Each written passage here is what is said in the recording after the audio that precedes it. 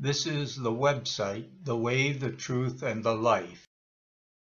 The purpose of this video is to give some insights into worldwide Islam, racism, and the involvement of entanglement of these things and the false academic understandings that are uh, causing many errors in uh, public policy. Uh, this is uh, October 23rd, and uh, there are three major events in the last two weeks here in Russia that are being used to uh, bring out these points. Uh, it started with a stabbing of a young man walking his girlfriend home in Moscow, being stabbed by a Muslim. And then the following riots over the problems that the Moscovites are having with the Muslims. And then uh, not far from here, uh, last week, a woman suicide bomber blew up a bus, killing six people and critically wounding 20 some. So that's uh, the purpose of this and the context that we're using. At the end of the article, I have a Washington uh, article uh, by Daniel Pipes that uh, has uh, some pretty good insight into it. Thank you. I'm in the Russian Caucasus and not too far from here. Yesterday, a young woman, suicide bomber, murdered herself and at least six others as she blew up a bus. We know from the investigators in the, in the city of Volgograd that the blast uh, happened at 2 p.m. local time in a bus, in a public bus, uh, seconds after it left uh, a bus stop and it had 40 passengers on board. As it stands, uh, six people have been confirmed dead and also we know that the suicide bomber, a female also um, dead, um, also was killed in this uh, blast. 28 people were delivered to hospitals and most of them, 27 in fact, are reported to be in severe condition and they have suffered severe wounds and uh, doctors are uh, battling for their lives basically as we speak. In America, Caucasian means white European. Here, Caucasian means a dark person, typically Muslim. My wife grew up in Armenia. There's a Russian there. And went to school with Armenian girls, which tend to be dark. And one of them, in a conversation with my wife, cried. She said, We used to be white.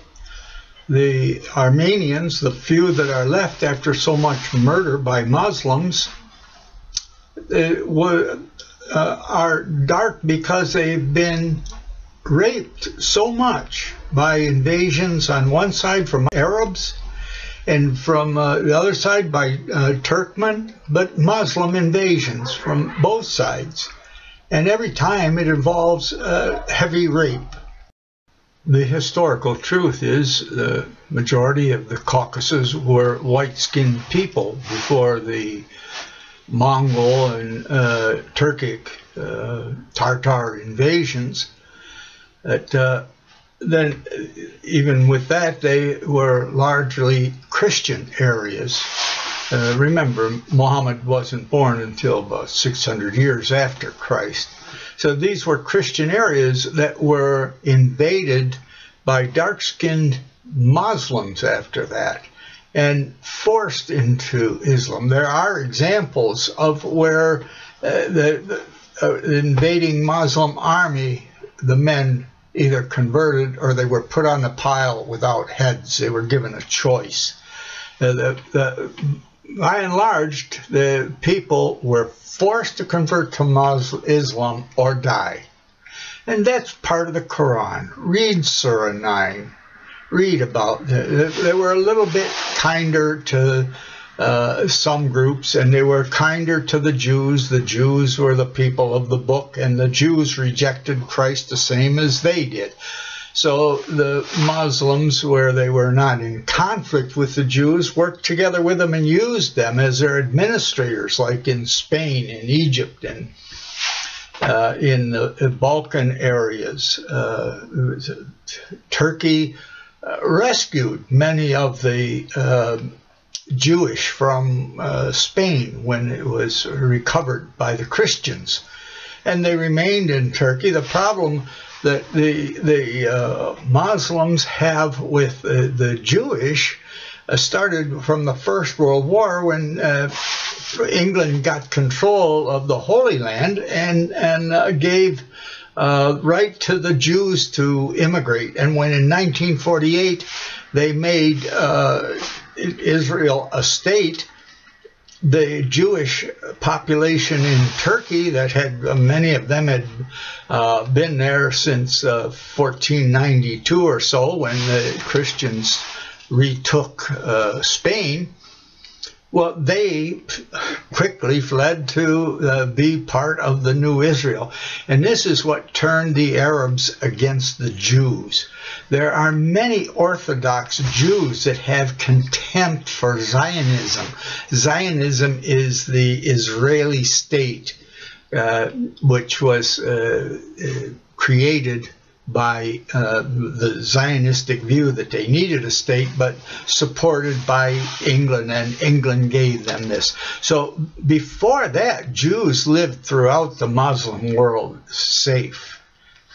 And uh, you can uh, see now that the, the, the uh, have this uh, jargon about the uh, Judeo-Christian faith, and they've completely gotten the support of the Christian community. And I'm not against that. I, I believe Israel has the right to exist. The, uh, the freedom of uh, Christians to go to the Holy Land or to live there if they want to, that's another problem. Be careful. Orthodox Jews have some contempt for that. But um, at any rate, that's a little bit of the background. But there's more to it than just Muslim, non-Muslim, and dark and light, and we'll talk about that. A week ago, a young man in Moscow was uh, walking his girlfriend home, and she was harassed by a um, immigrant from the Caucasus, a Muslim, and when the boyfriend defended her, he was attacked and stabbed in the heart, killed. The news reporting shows so much ignorance, and there's uh, so much ignorance about race, but I have insight into the um, cause and, uh, the fallacy academic ignorance going on in sociology, where it comes from. I'll explain that first.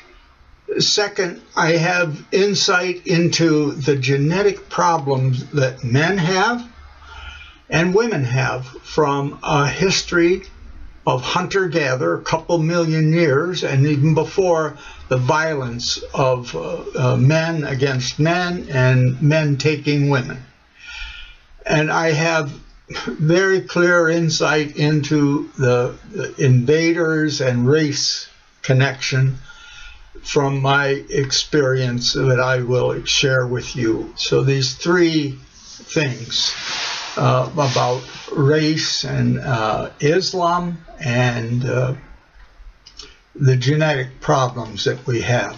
I'll, I'll first go into the one where the academic expert from uh, the European Union has such nonsense and it's paraded as an expert from academia. Protests then turned violent as demonstrators, some chanting nationalist slogans, attacked a shopping centre and broke into the vegetable warehouse. Natalia Marshalkovich speaks with the head of the Migration Policy Institute in Berlin, Olga Gulina. She says murder in the streets of Moscow, whether or not immigrants are involved, are common. But this one triggered such a strong reaction. The protest almost turned into a pitched street battle. Why is that? Of course, unfortunately, we're like other countries such as France, Sweden, and Britain, where similar things have happened when it comes to problems with immigrants, and this turned into a riot. Why right now, no one can answer that. One of the important points about academic ignorance of Islam here is that according to the Quran, non Muslims must pay protection to Muslims. Now, they don't have enough people to enforce that directly in America or in Russia or Europe today, but some insight. Uh, Olga's grandfather was good at making and repairing his wagon wheels.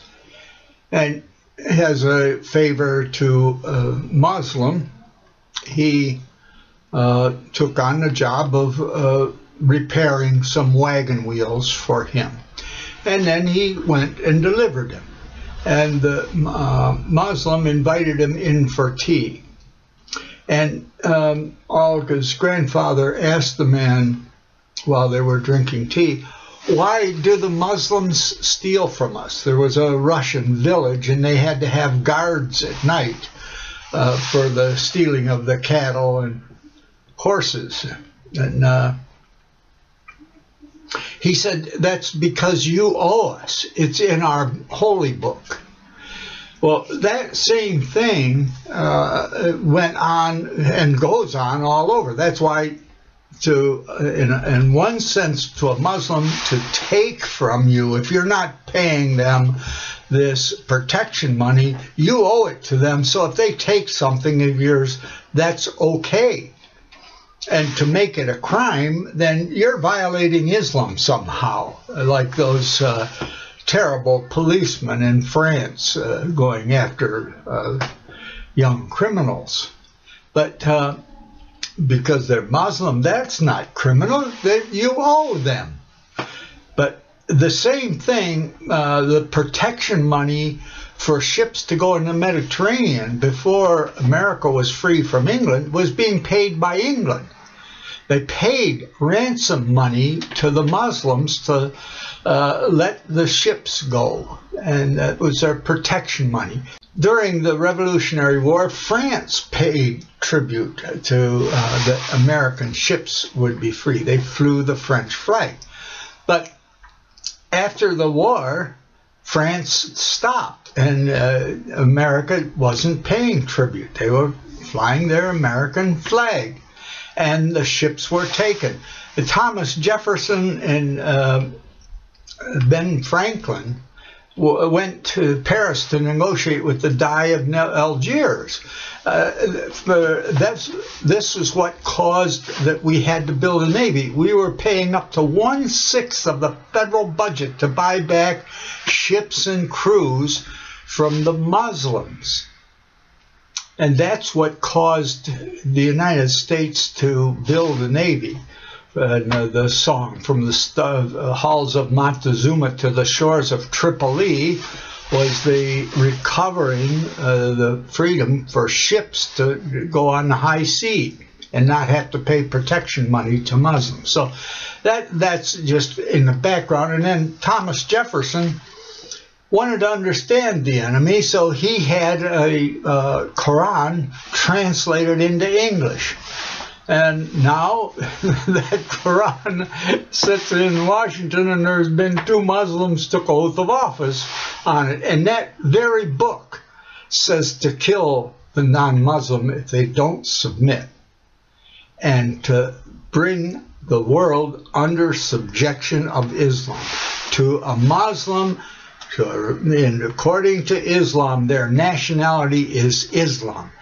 Just like that psychiatrist uh, major that killed a bunch of soldiers. He was being loyal to Islam and uh, was proud of it. And they are proud of it. They're at the point where they need to submit.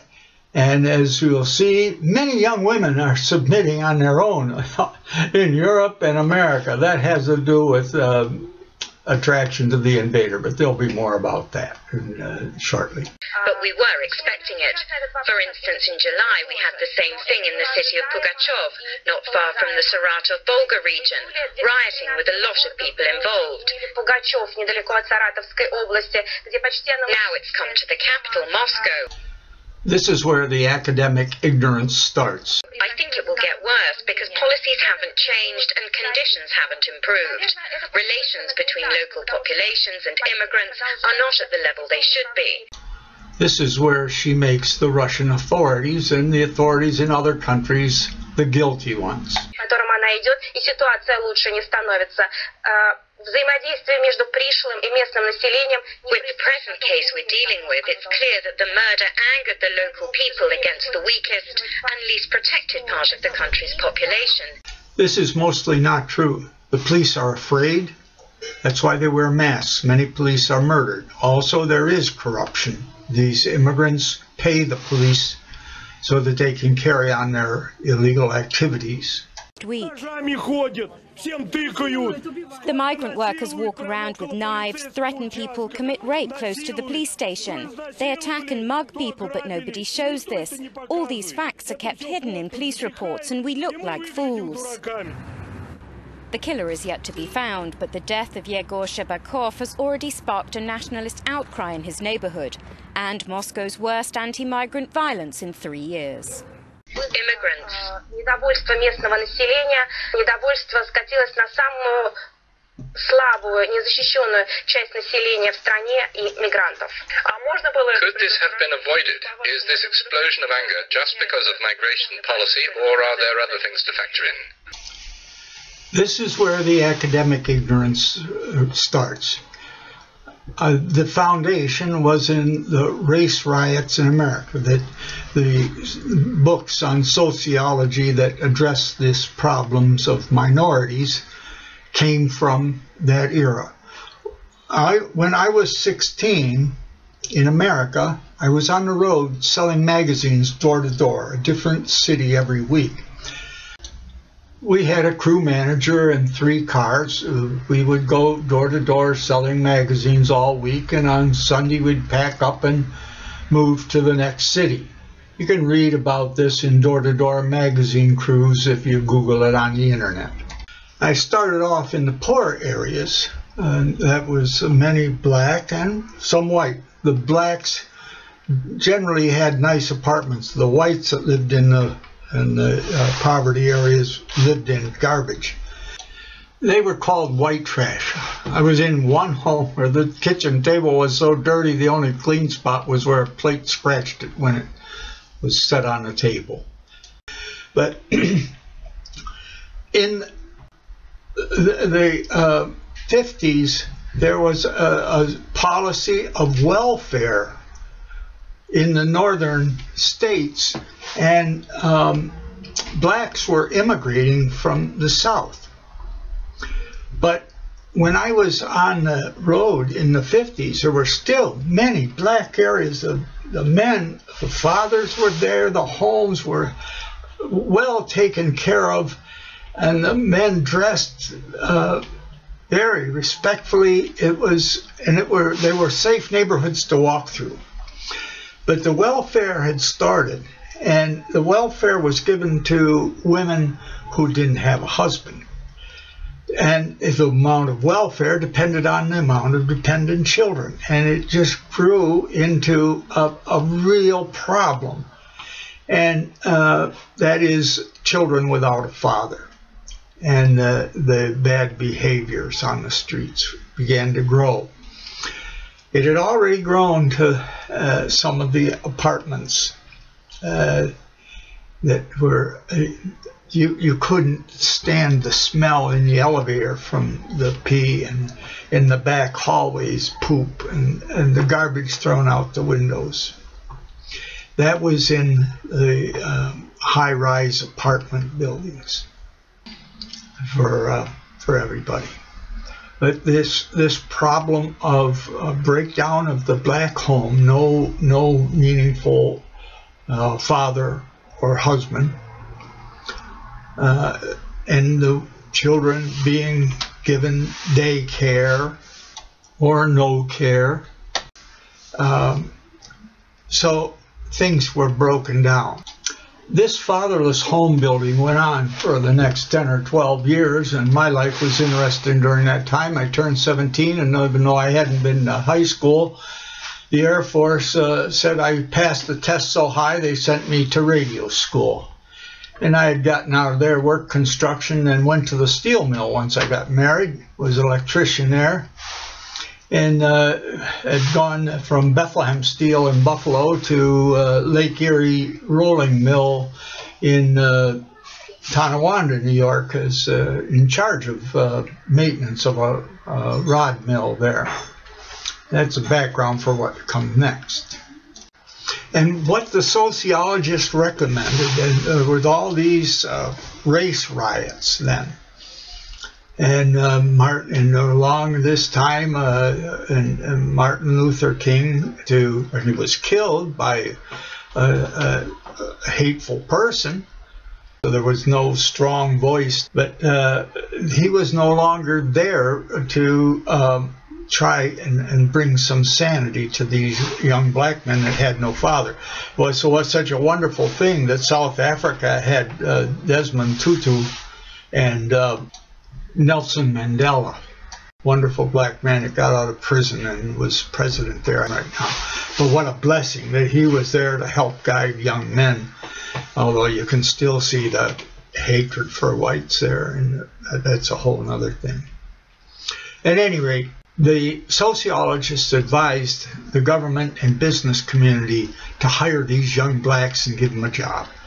As I said, I was supervisor of uh, maintenance in a plant, and we had to hire this young black 17 year old or 18 year old.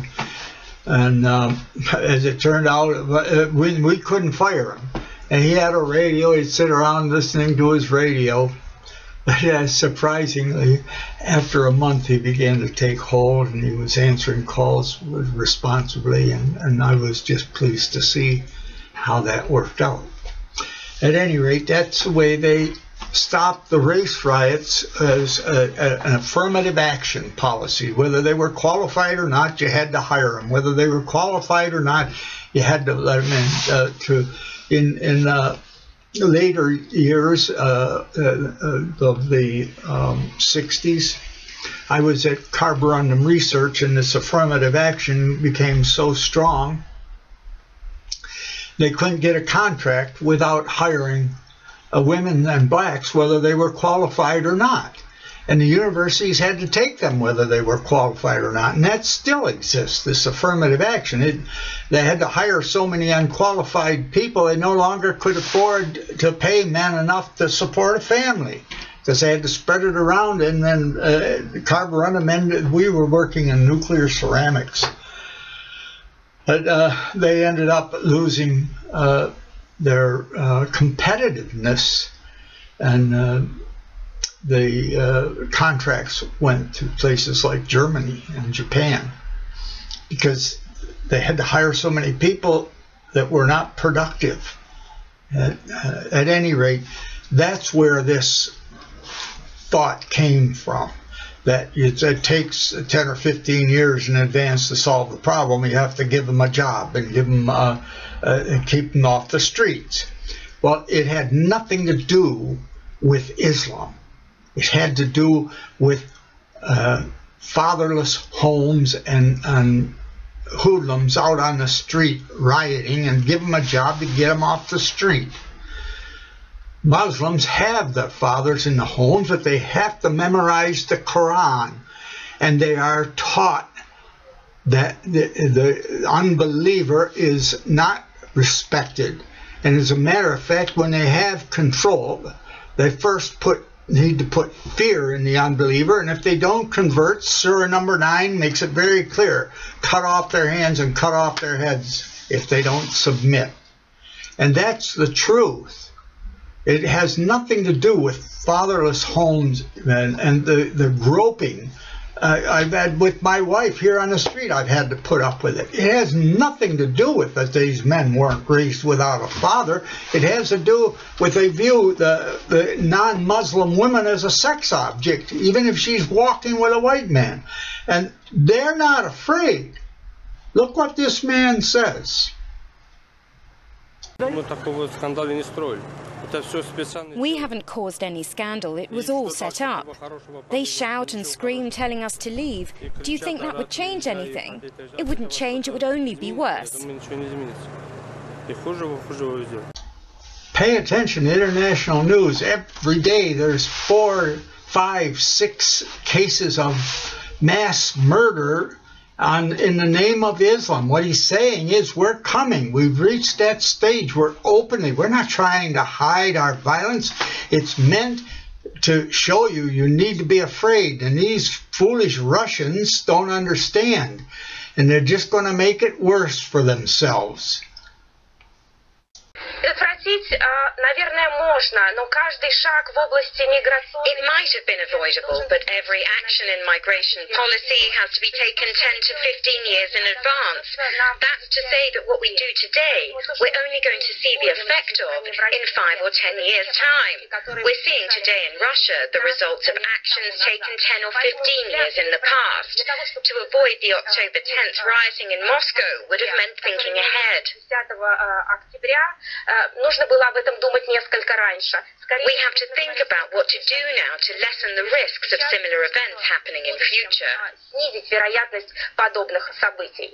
What has to be done? Can we draw on other countries' positive experiences? Of course, there are some. There's advice given in 1968 by a well-known American sociologist.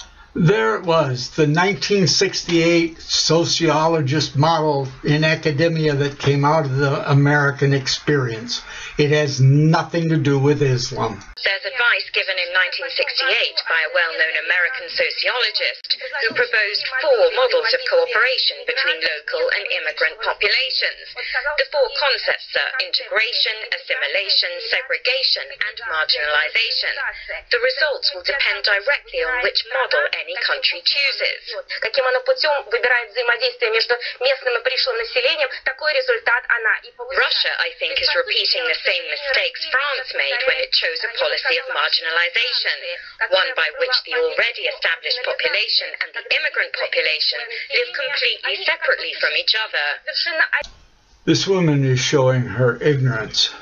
The Quran specifically says that it's for Islam, it's uh, in the Quran, it's perfectly acceptable to deceive the unbeliever. But the Quran also says it is not to take the unbeliever as a friend. While I was in the Air Force, I took five two hour tests at the base education office and got my high school diploma.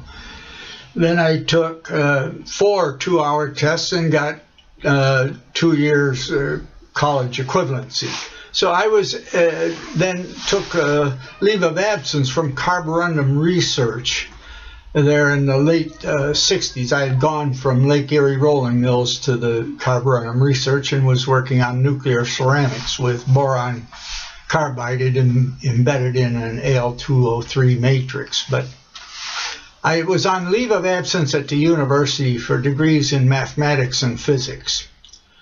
And uh, there were a number of Muslim students there from Iran that um, were studying, and they used to come to get help with the math problems there in the Science and Engineering Library at the University of Buffalo, State University of New York. And uh, I ended up with friends with some of them. They weren't all that nice, and there was a group of them when they had a research project. They'd taken, uh, gather up all the books that were referenced in the project and hide them someplace and share them amongst the fellow Muslims. But uh, we managed to deal with those things. And I, uh, uh one fellow ended up quite uh, friendly with, and um, I invited I was married, had three kids at the time. I invited him and his wife to come for supper. And he looked at me and he says, uh, We're Muslim, you know. And I asked him, what does that mean? He says, um, what do Muslims do? He says, well, we uh, pray five times a day. Well, I pray.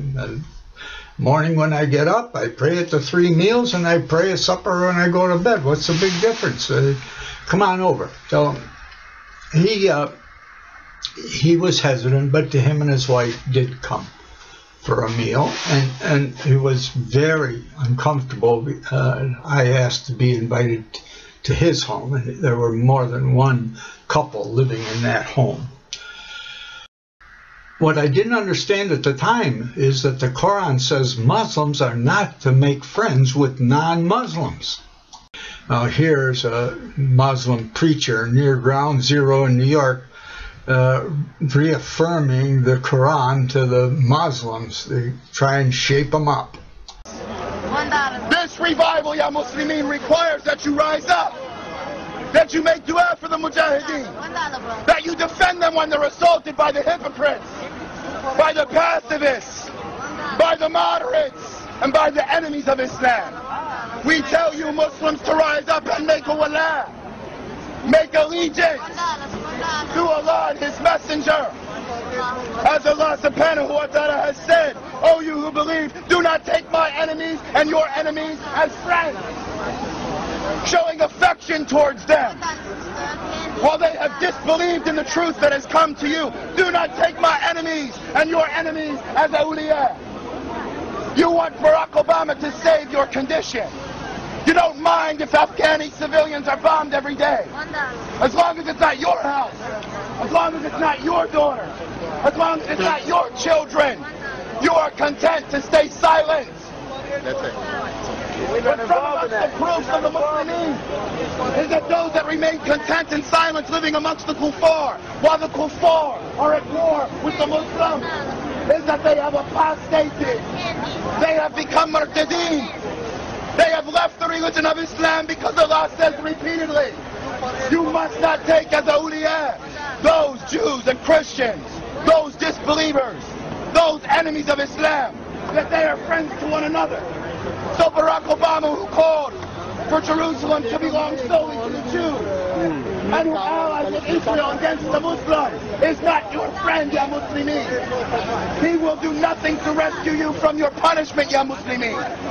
Jihad, fi sabilillah, will rescue you from your punishment, Ya Muslimin.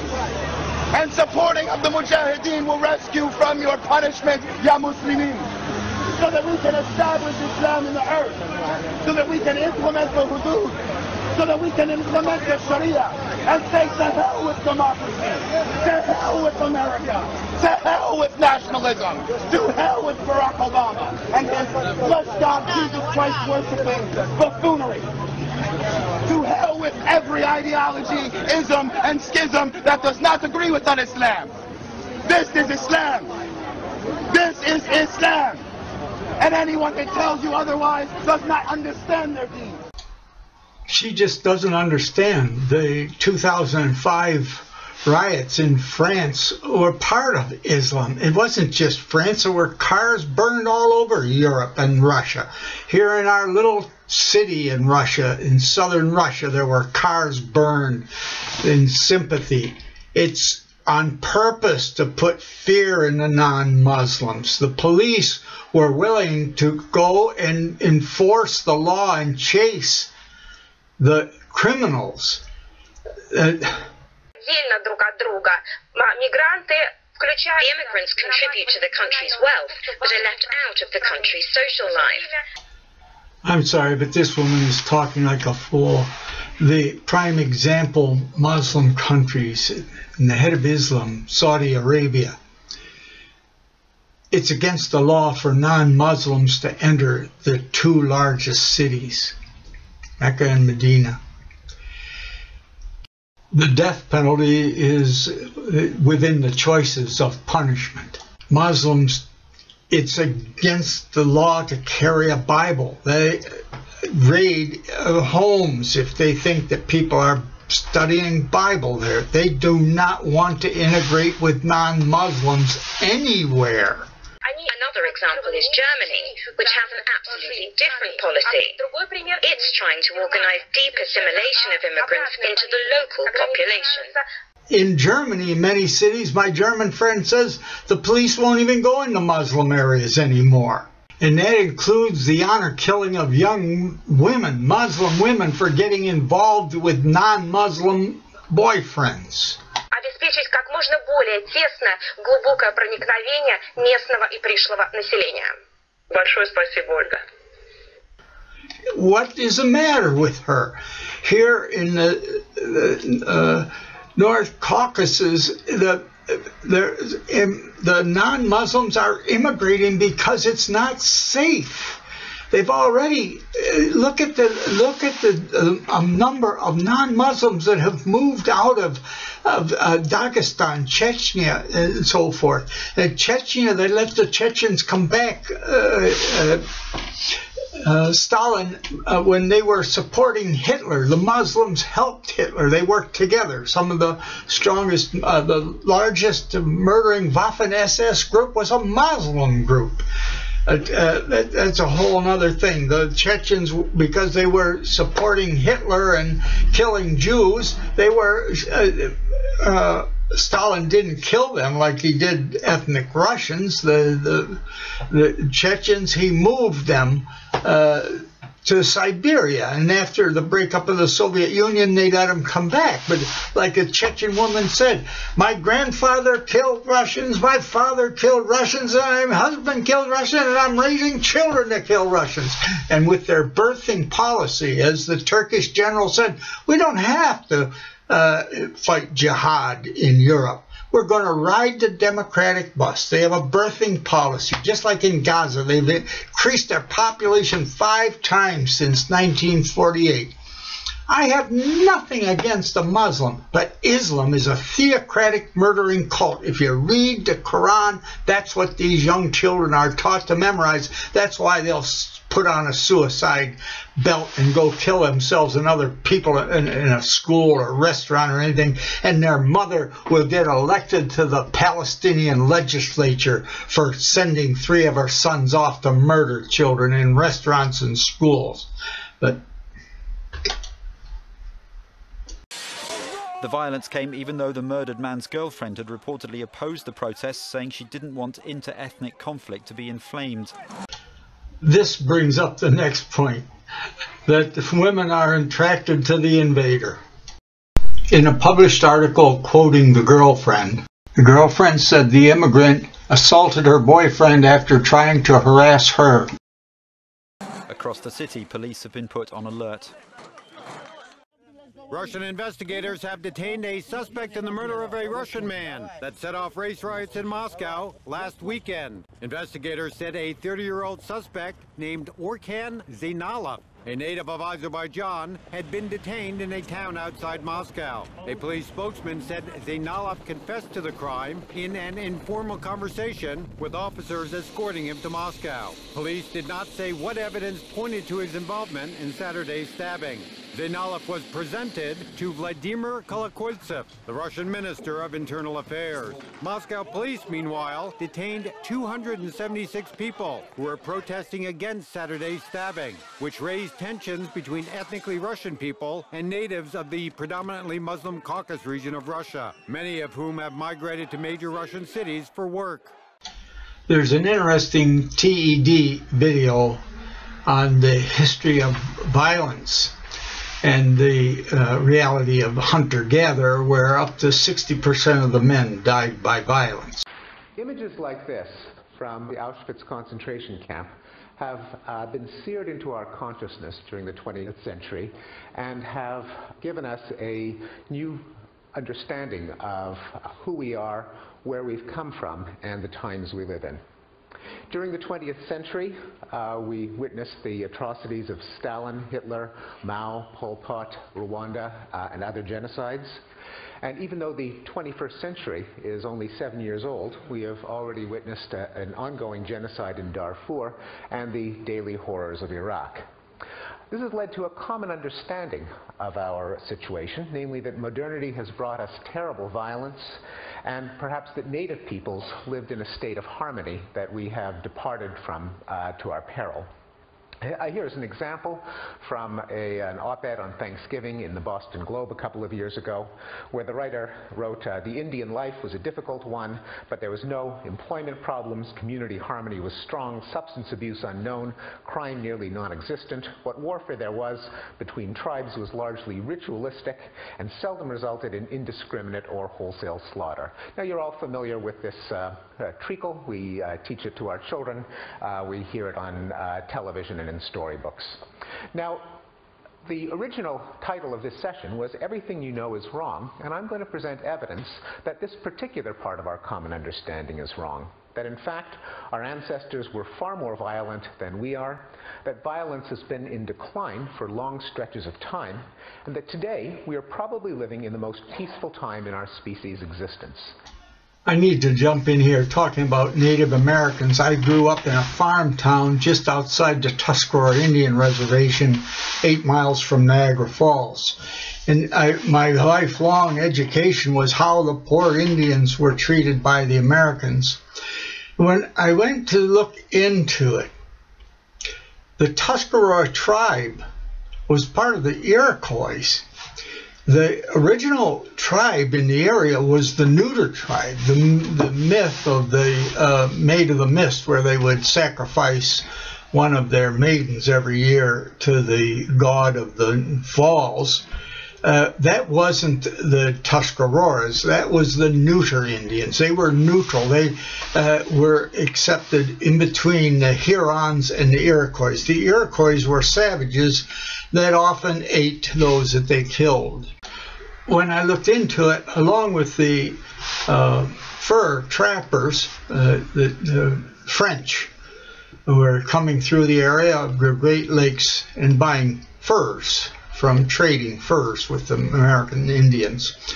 And a couple of French priests came along and uh, were preaching Christ to the Indians, the same as it says in Luke chapter 17 Go and take nothing for your journey and the Hurons were converting to Christianity. They gave a place for the priests to stay, and they were preaching to the Hurons.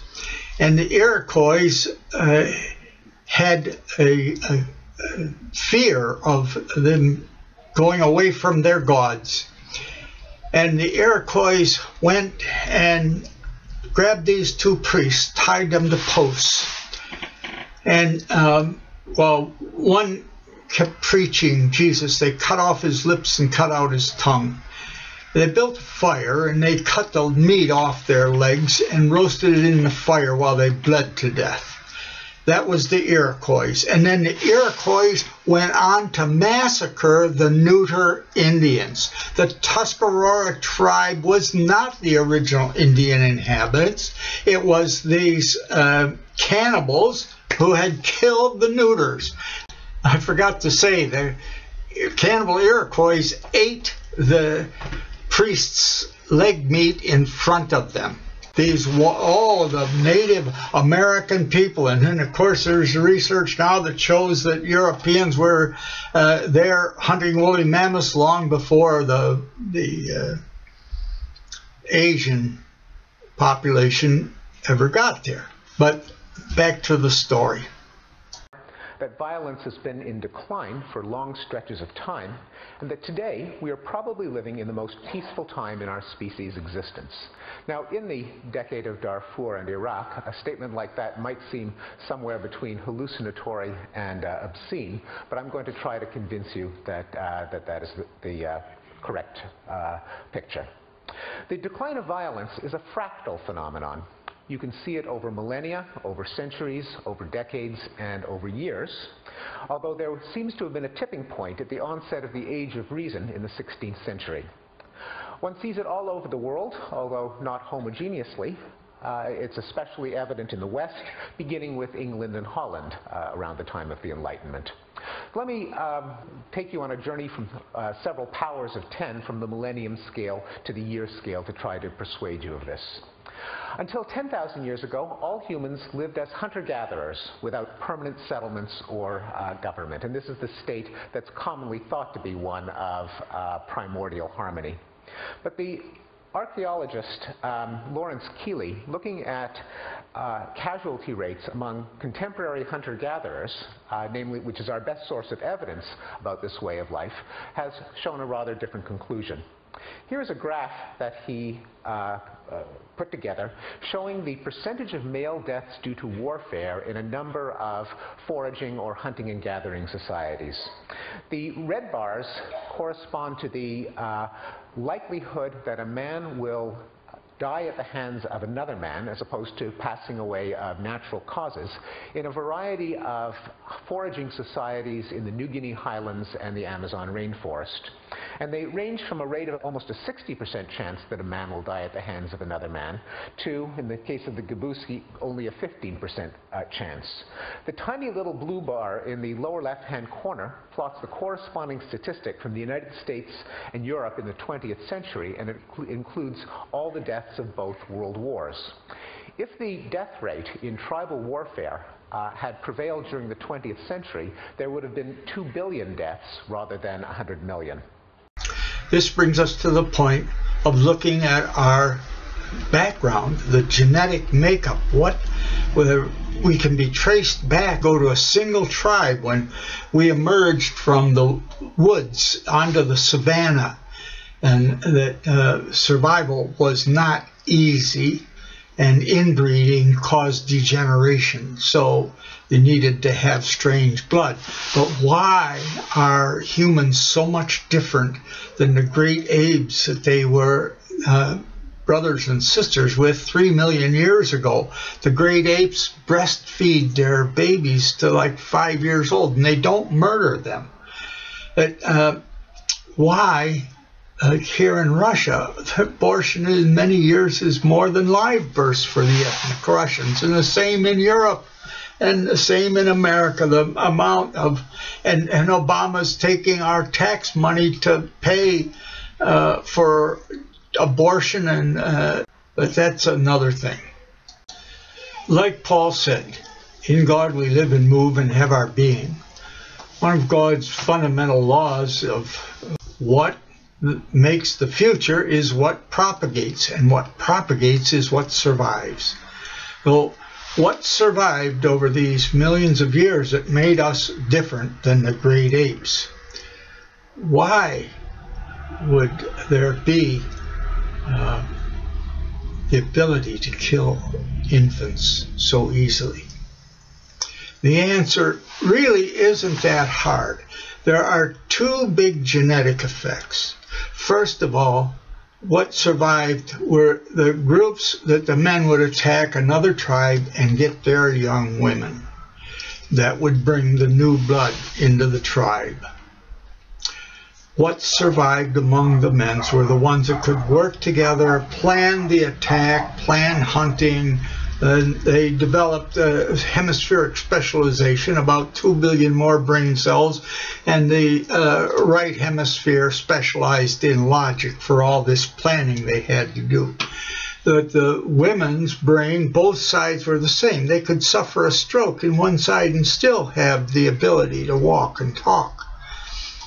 It, uh, and, and go about the daily care that would lead to the survival of their children.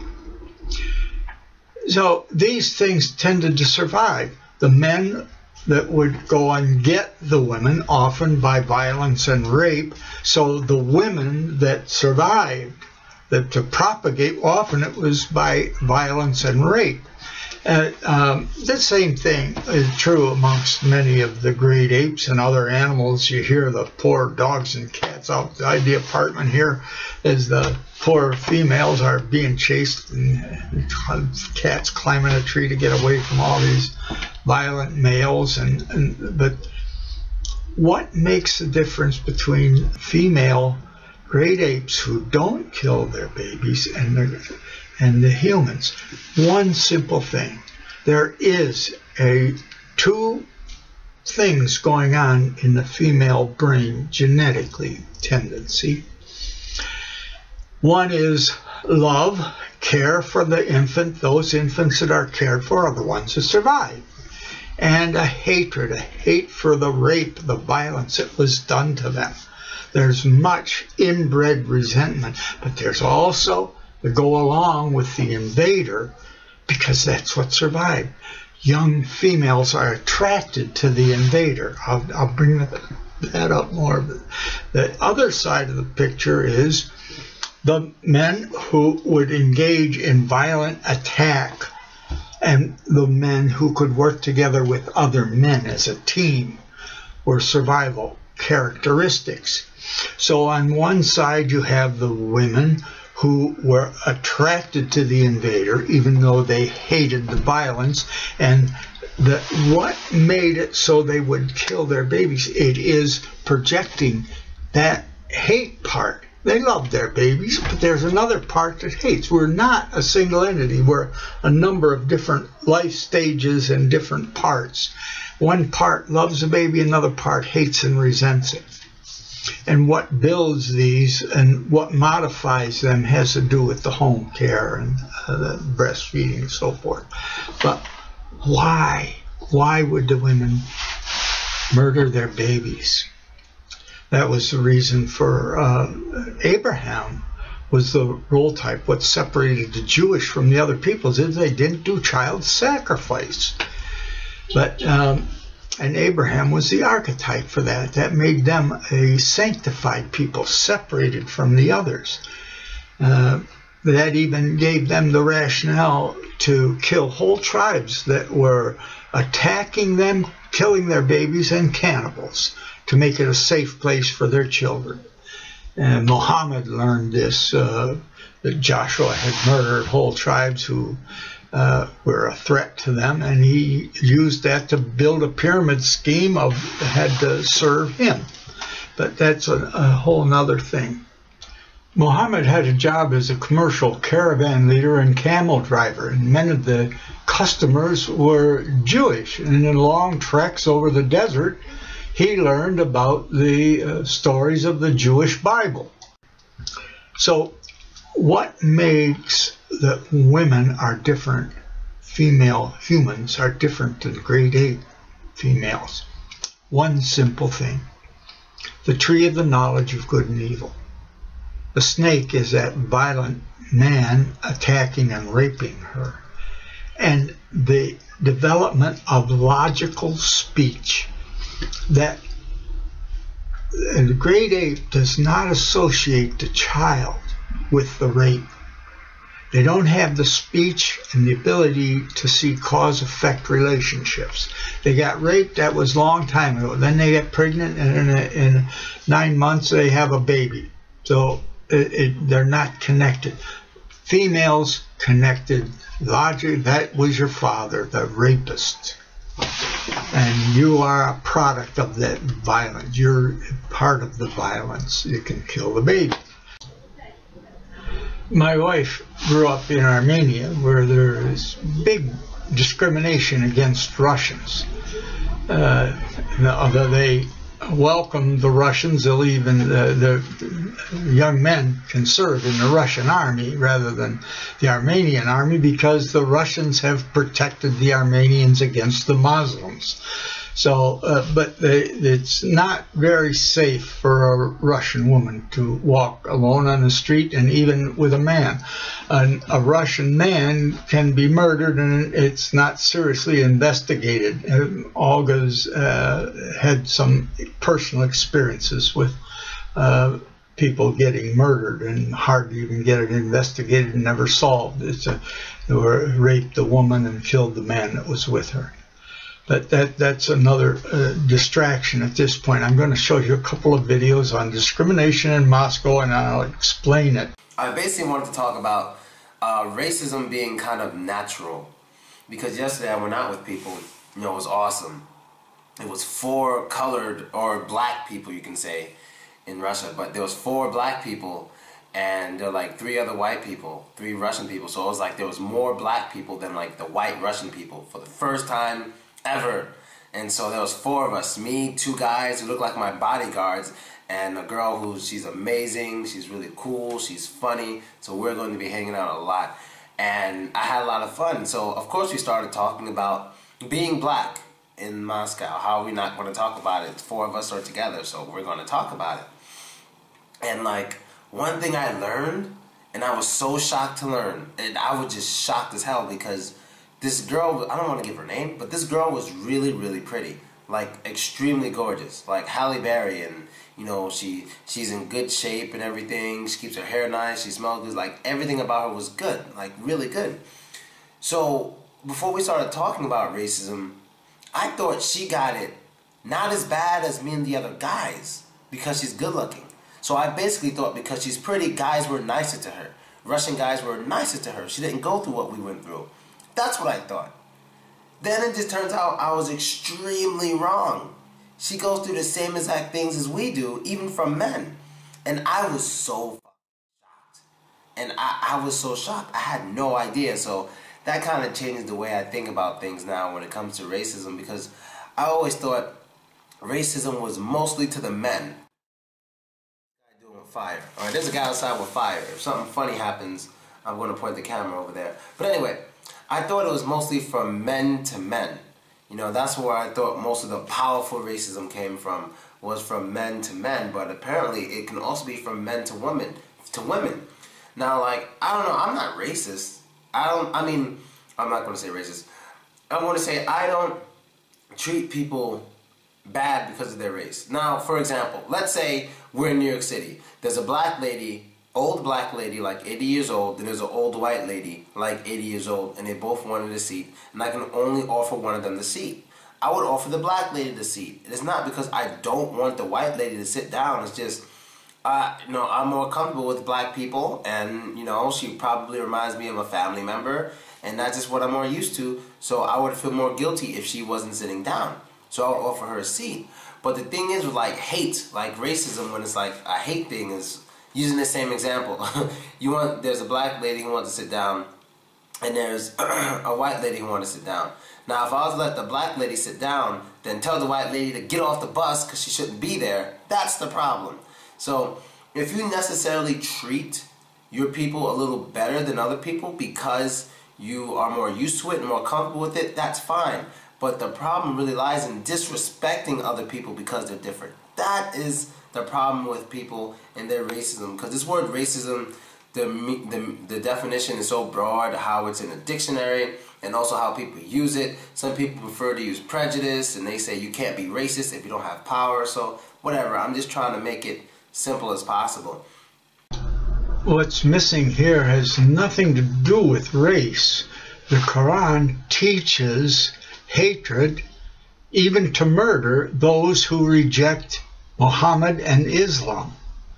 It uh, often appears along racial lines, but in fact, the white Muslims and black Muslims and sit in the same mosque, no problem, and live together, no problem.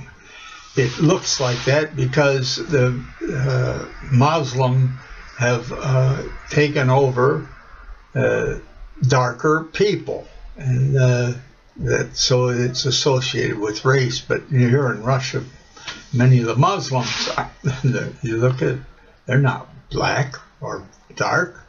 Because eyewitnesses and survivors of uh, this blast confirmed that a suicide bomber detonated the explosive on uh, board the bus just as it left uh, the bus stop um, in almost the central part of uh, the city of, of Volgograd. And um, yeah, I was basically so shocked. So um, I don't know. I don't really know what to say. I just want, oh, I know what I want to ask. I want to ask, have any of you Russian people, not, I don't want to know any colored people's opinion on this one.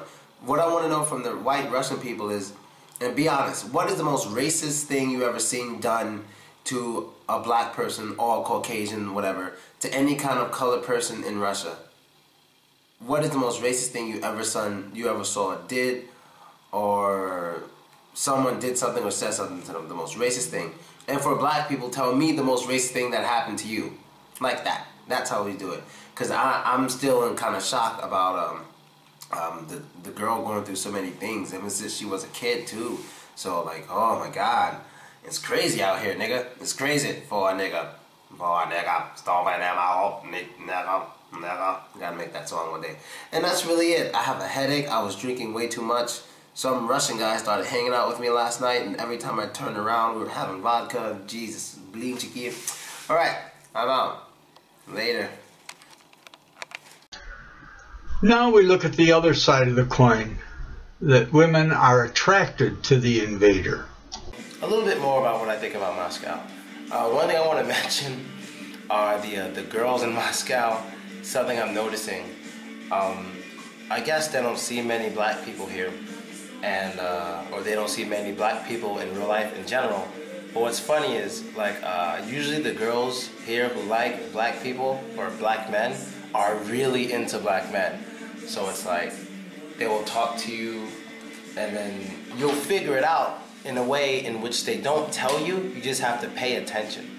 So they'll say something like, yeah, you know, I've been to Africa and it was fun, a lot of fun. And then I'm like, hmm.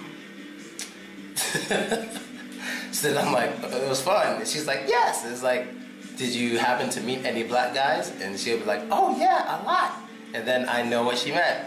Or you could look at her cell phone and you'll see a black guy with his shirt off or something. And he's like sweating. He just, you know, all that stuff. So it's very interesting how a lot of girls here are into black guys, but they don't get to see many of us. And uh, that's one thing. Again, this is something that I had realized that uh, young women are attracted to the invader. It has nothing to do with race. In the town that I grew up in, the girls were attracted to the Indians on the reservation, or they were attracted to the GIs on the missile base. Uh, uh, they weren't attracted to their own community men. What happened in America that gave me the insight was uh, Johnson had um, boosted integration is setting up uh, subsidized rental apartments and uh, in the suburbs to move the blacks out and uh, the busing of blacks into the suburban schools. Johnson had uh, instituted a, uh, a, great society and subsidized rent. I was teaching physics. I taught physics for 22 years at Sweet Home High School, a suburb of Buffalo, New York, during this period. And they uh, rent, uh, built some subsidized rental apartments in the area to move inner city blacks out. And we had them uh, in our school, Sweet Home High School. And uh, I was surprised. Uh, I didn't understand that there was a problem. Of course, I had not, uh, I actually had no students qualify for physics from this inner city group.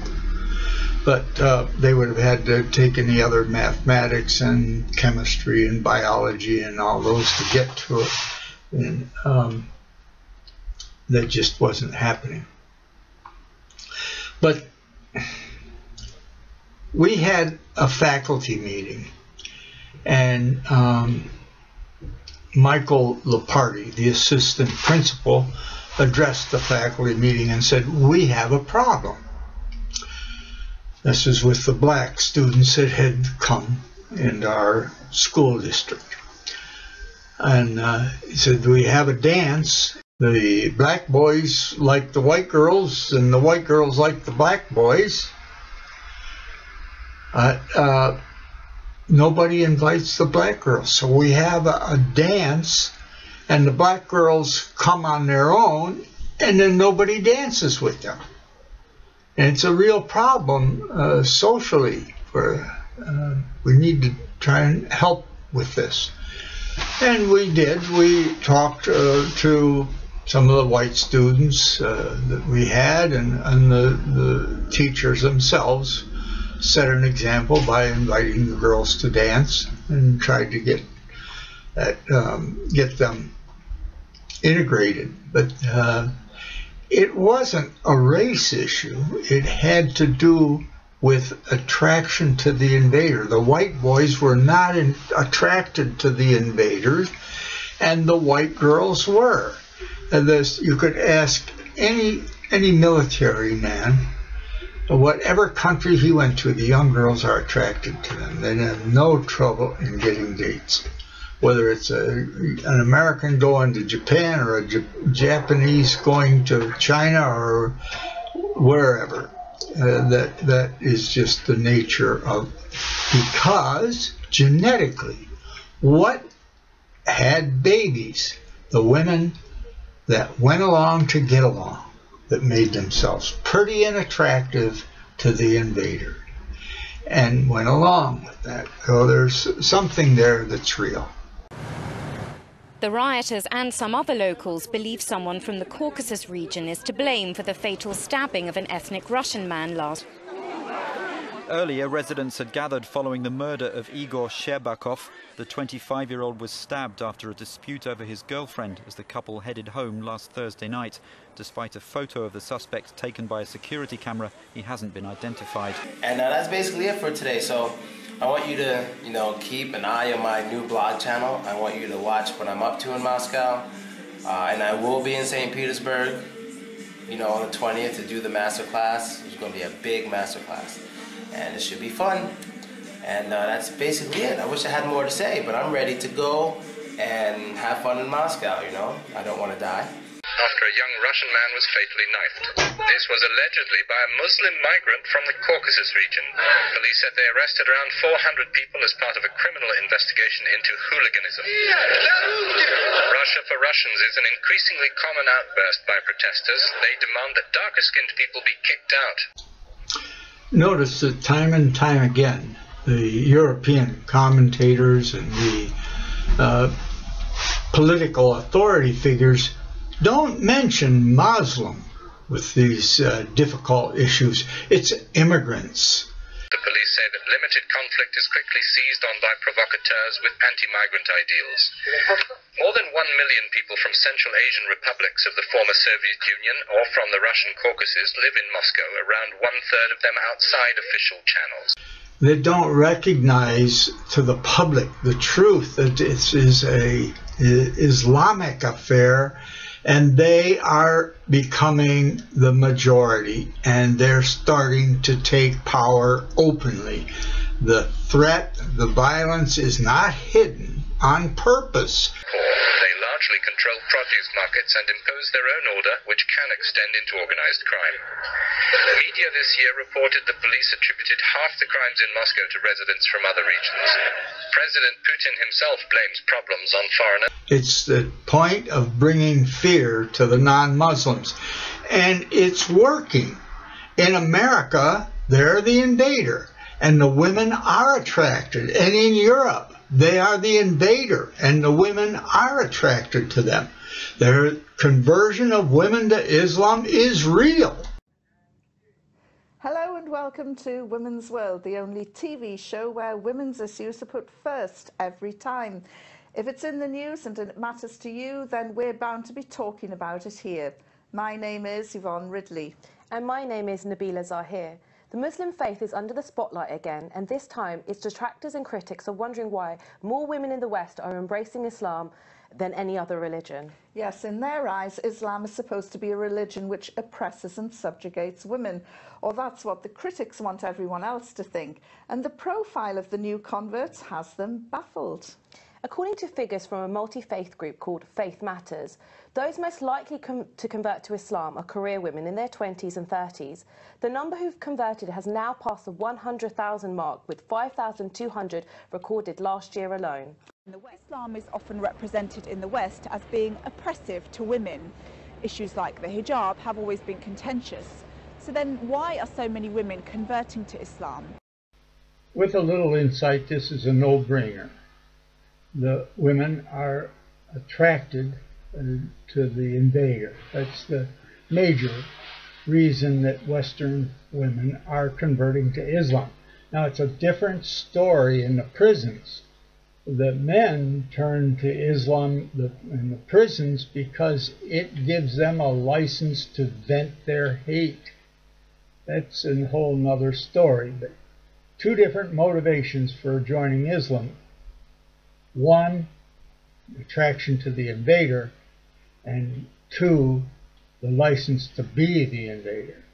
Now here's some of the direct teachings from the Quran on treatment of women.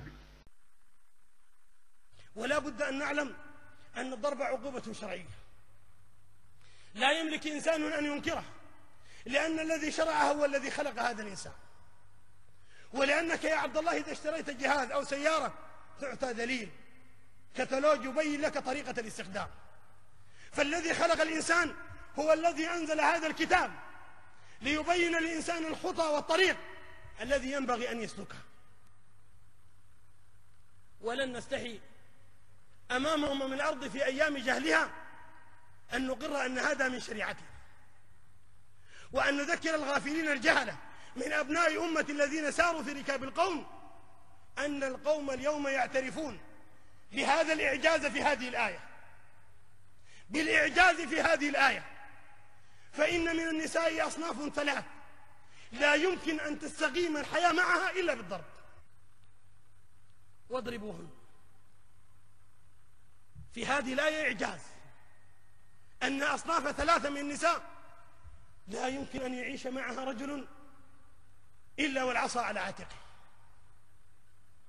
المرأة الأولى فتاة ربيت على هذا يطلب منها أن تذهب للمدرسة فتمتنع يضربوها.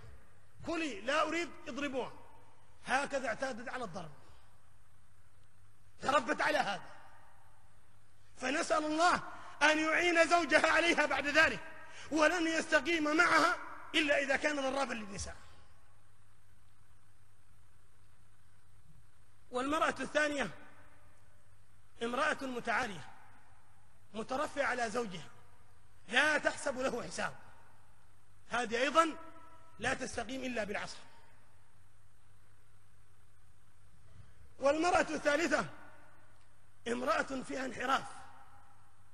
لا تقتنع بقوة رجلها إلا إذا قهرها وإلا إذا ضربه وإلا إذا انتصر عليها عضليا وهزمها بصوته One of the countries under the spotlight for so-called honour crimes is Jordan, where the practice is sanctioned by law. Under the criminal code, relatives who kill a woman suspected of shameful behaviour receive a light sentence or escape punishment altogether. Meanwhile, in Turkey, the law has been changed. Provocation is no longer a defence, and the government has introduced life sentences for such crimes. However, these killings are still supported in some parts of the country. It's estimated at least 60 women are killed in Turkey in this way every year. These things about Islam are not abstract to me. I was in Russia 2000 and uh, we signed up to be married in Moscow. There was a month wait. And during that month, they blew up the Russian subway, murdered a whole bunch of people. That was a wake up call. What I didn't understand at the time, this was not a clandestine, hidden crime. It was an open crime and it had a message. It was historic Islam saying, We're here and this is to teach you a lesson. Submit or else the next one may be you.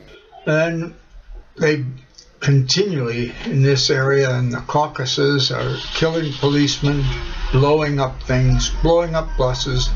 About 12 miles from here, blew up a train and killed, I think it was 21 students. Uh, they ride the trail in, to get to Pyatigorsk for the university daily. Uh, just no end. Uh, in, uh, two years ago, they were going to blow up, a, celebrate Easter by blowing up a church uh, where we fly into Mineralnye Vody here. And they had had terrorists uh, here, uh, took airplanes and for ransom. They, uh, three years ago, they uh, blew up Domodedovo airport that we fly into in Moscow, killing about 60 people. The women with bombs in their burqas blew up two of airplanes on the airlines that we fly south from Moscow on. No, no end. I keep track of um, Islam uh, since 2007 when I learned of the three young men being brutally tortured and murdered by Islamists in Turkey. And actually, Erdogan has covered it and uh, put on trial the men that would have protected them and, and uh, blamed them for what uh, his people did.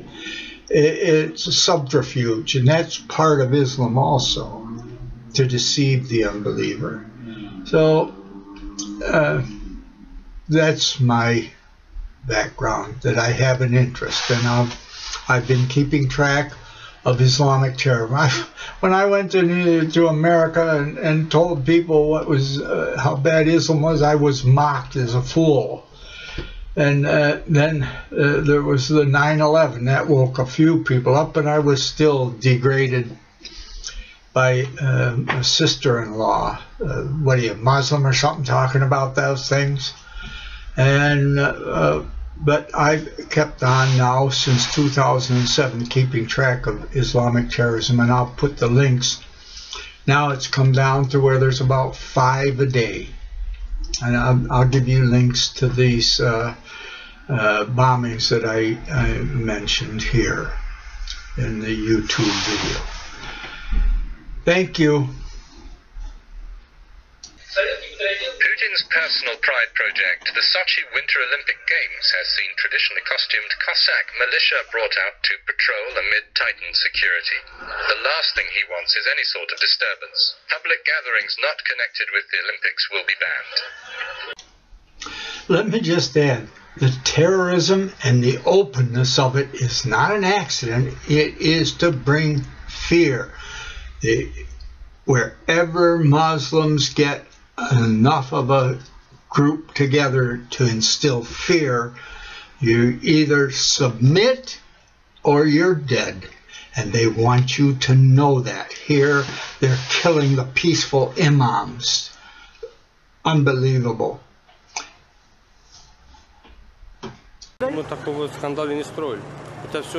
We haven't caused any scandal. It was all set up. They shout and scream telling us to leave. Do you think that would change anything? It wouldn't change, it would only be worse. The Russian Orthodox Church is still the largest religious body in the country, although many Russians don't follow any religion.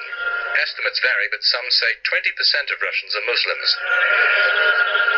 Rights defense groups are keeping a close watch on the rising rate of hate crime.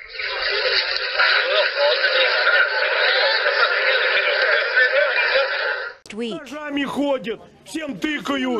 The migrant workers walk around with knives, threaten people, commit rape close to the police station. They attack and mug people, but nobody shows this. All these facts are kept hidden in police reports, and we look like fools. I'm reminded at the end of this video, I have a personal uh, experience uh, having to do with race. I have two black grandsons. I paid five thousand of the ten thousand dollar adoption fee. They were adopted from Haiti, from an orphanage there, and uh, glad to have them as my grandchildren.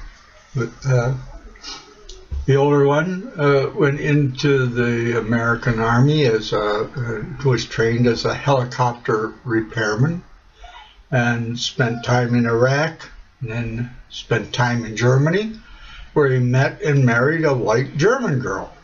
Oh, these things aren't abstract news to me. Thank you. I'm going to have two articles uh, shown and read to you attached at the end here. The first is the uh, first five verses of Surah number 9, which shows the demand that the Muslims take control.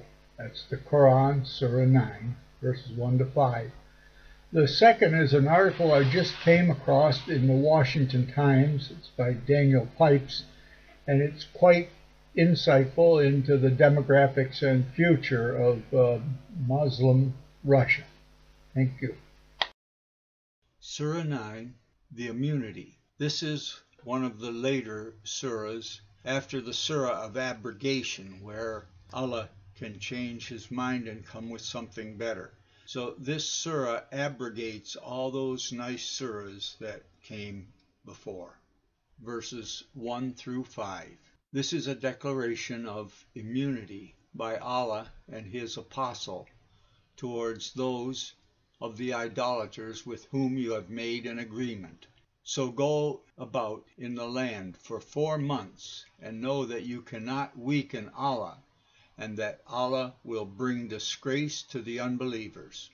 And announce from Allah and His apostle to the people on the day of the greater pilgrimage that Allah and His apostle are free from liability to the idolaters. Therefore, if you repent, it will be better for you. And if you turn back, then know that you will not weaken Allah and announce painful punishment to those who disbelieve, except those of the idolaters with whom you have made an agreement. Then they have not failed you in anything and have not backed up anyone against you. So fulfill their agreement to the end of their term. Surely God loves those who are careful of their duty. So when the sacred months have passed away, then slay the idolaters wherever you find them, and take them captive, and besiege them, and lie in wait for them in every ambush. Then if they repent, and keep up prayer, and pay the poor rate, and extortion, leave their way free to them. Surely Allah is forgiving and merciful. Note the three successive forbidden months mentioned by Muhammad months in which battles are forbidden are the 11th, 12th, and the 1st. The single forbidden month is the 7th. These months were considered forbidden both within the new Islamic calendar and within the old pagan Meccan calendar. The stabbing death on October 10th of an ethnic Russian, Yegor Shcherbakov, 25, apparently by a Muslim from Azerbaijan, led to anti-migrant disturbances in Moscow, vandalism and assaults, and the arrest of 1,200, and brought a major tension in Russian life to the fore. Not only do ethnic Muslims account for 21 million to 23 million of Russia's total population of 144 million, or 15%, but their proportion is fast growing. Alcoholism-plagued ethnic Russians are said to have European birth rates and African death rates.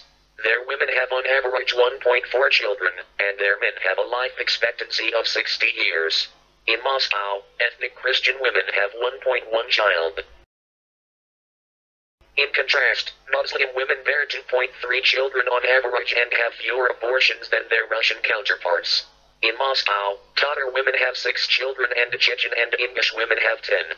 In addition, some 3 million to 4 million Muslims have moved to Russia from ex-republics of the Soviet Union, mainly from Azerbaijan and Kazakhstan, and some ethnic Russians are converting to Islam. These trends point to Christians declining in numbers by 0.6% a year and Muslims increasing by that same amount, which will have dramatic effects over time. Some analysts foresee Muslims becoming a majority in the 21st century and dash a demographic revolution that would fundamentally change the country's character. Paul Goble, an expert on Russian minorities, concludes that Russia is going through a religious transformation that will be of even greater consequence for the international community than the collapse of the Soviet Union. A Russian commentator he quotes envisions a mosque on Red Square in Moscow. The facile assumption that Moscow is and will remain Western oriented is no longer valid, he argues. In particular, he predicts that the Muslim demographic surge will have a profound impact on Russian foreign policy. Within a few years, Muslims will make up half the conscripts in the Russian army. Joseph A. D'Agostino of the Population Research Institute asks, will such a military operate effectively given the fury that many domestic Muslims feel toward the Russian military's tactics in the Muslim region of Chechnya? What, if other Muslim regions of Russia M- some of which contain huge oil reserves M- rebel against Moscow? Will Muslim soldiers fight and kill to keep them part of the Russian motherland? Russia's increasingly confident Muslims, who constitute a majority of 57 out of the country's 182 ethnic groups, have started to use the term Muslim Russia to signal their ambitions. According to Muslim analyst David Al-Isayed, this term affirms that Islam is an inalienable part of Russia and that Russia, as a state and civilization, could not exist without Islam and the Muslims. He notes that Muslims preceded ethnic Russians in much of the territory that is now Russia.